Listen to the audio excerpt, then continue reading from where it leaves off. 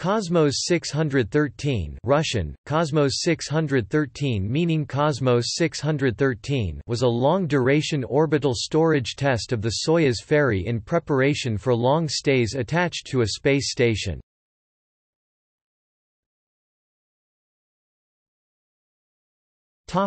Mission parameters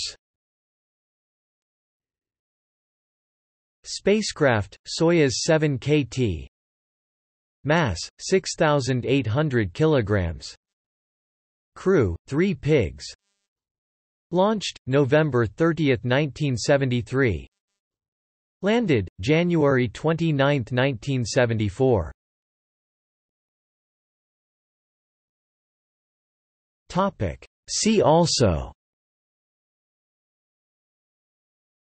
1973 in spaceflight